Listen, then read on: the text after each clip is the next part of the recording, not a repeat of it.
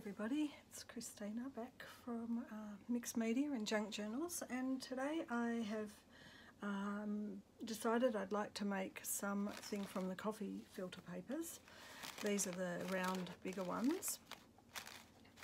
And I was watching Dianna from Crates of Creativity making some flowers and I was quite intrigued by how she dyed them first I had another little bit of a search and I did find uh, Marsha at Gelli Arts had done things with coffee papers and also Angela at Hey Angela Marie uh, makes so many different flowers from them. So I'll link them below but what I wanted to cover today was um, just my, my play fun explorations. So I made tie-dyed I, I consider their tie-dye. They've got that, that look of a tie-dye. This is probably the best example. So I'm going to just go through the process with you. So I wanted to have a go at making some coffee ones as well. Basically what Dianna did was just bunch them like this and dunked them in so I'm dunking them in and I'm just going to leave that there to soak. As it sits there, the coffee comes up into the filter. I wanted some green and yellow. I've been doing a few Beatrix Potter journals. So um, this is the Southern Ocean Blue from Matisse and it's a structure.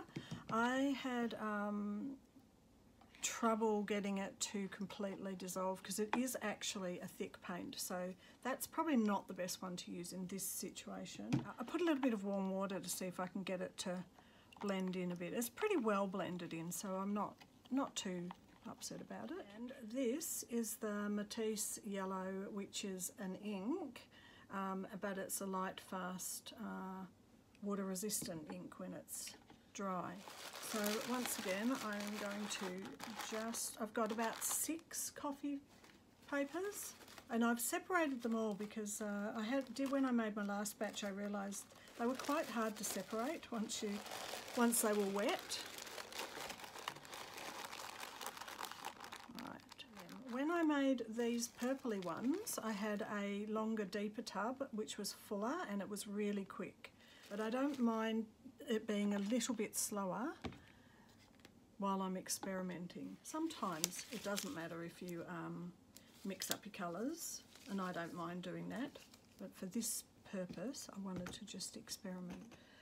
Mainly this one I was interested in just the coffee colour.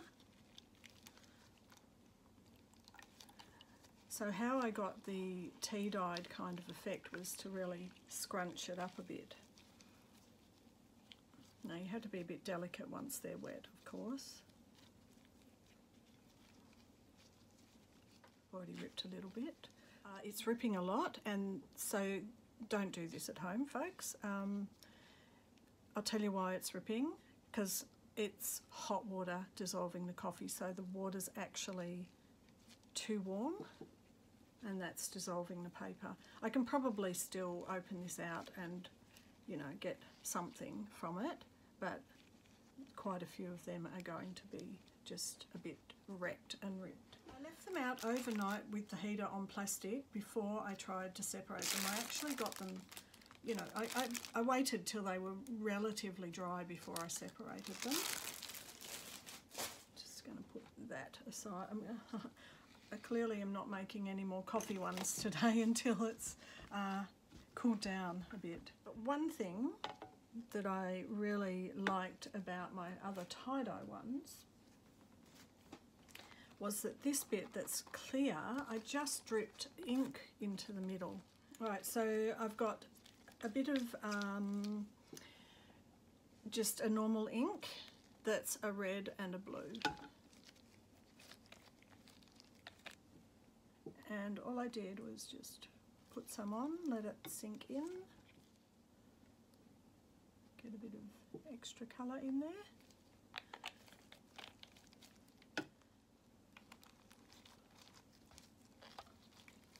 And that's where I scrunched it.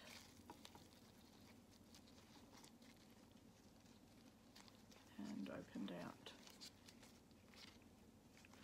So as you can see, we're starting to get little tie-dye looks about it. So I've got my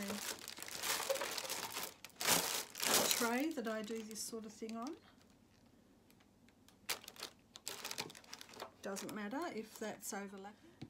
So once I've finished everything, I will go and lay them all out on my plastic downstairs in the heater. Um, I wanted this to be particularly yellow, however I want a bit of a green kind of a um, tone with it also for the Beatrix Potter. So uh, let's just do a bit of this, get that to go through.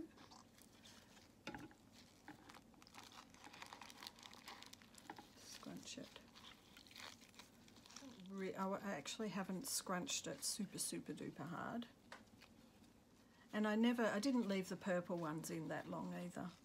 Alright, so these are kind of a little bit more bunched up, so a bit harder to put down flat to dry.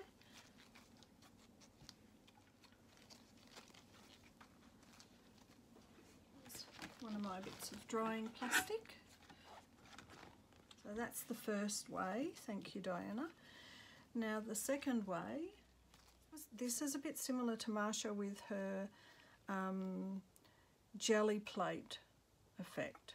So I've used one that I've already dyed out of my little stack of purples. And what I've used is one of these plastic doilies that I use in my, uh, I'll, I'll, link it below the um, doily dyeing in a little tub with plastic doilies. And I've daubed ink in through there. Uh, I'll show you. So this is a tea stained one that's got um, just a grid pattern which is from a draw liner.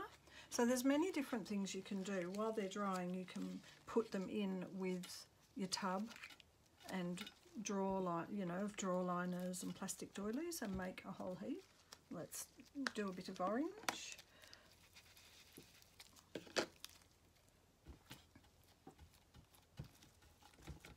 dabbing that, dabbing that through as much as you like.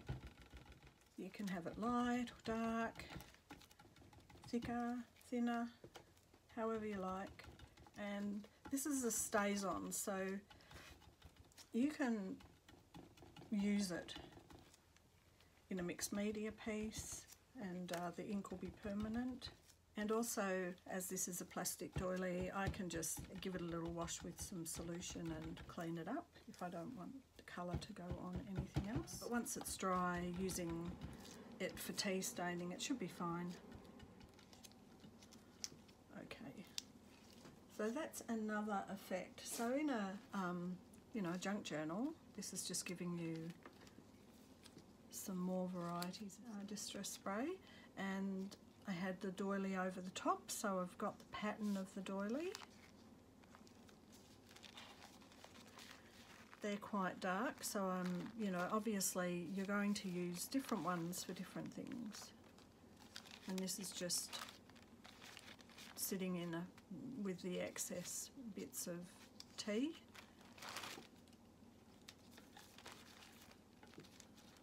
Okay, so that's two ways to do coffee filters.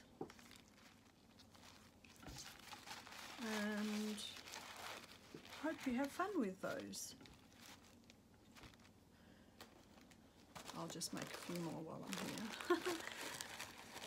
have fun, have play, playful fun, enjoy yourself, and I will see you next time. Bye for now.